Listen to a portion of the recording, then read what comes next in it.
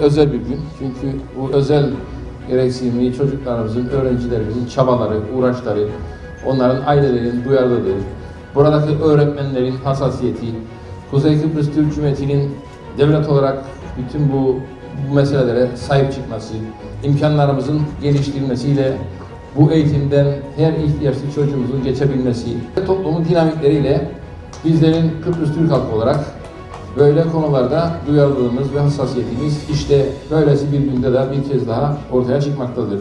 Bu özel gereksinimli çocuklarımızın, öğrencilerimizin sahip çıkılması, onların mutlu olabilmeleri için bu kadar insanın seferber olması, devletimizin imkanlarıyla böyle güzel ortamlarda bu çalışmaların yürütülüyor olması beni mutlu etmektedir.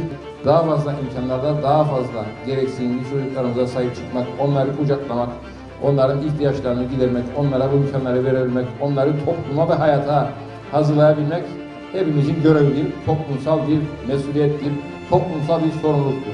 Çocuklarımızı da yürekten tebrik etmek istiyorum. Sizlerin mutluluğu bizlerin mutluluğudur. Sizlerin başarısı bizlerin başarısıdır. Onlarla birlikte olmak, onlara yardımcı olmak, onlarla o çalışmaları yürütebilmek, o sabrı ve hassasiyeti göstermek, o duyarlılığı gösterebilmek, özellikle öğretmenlerimizi de tebrik etmek istiyorum.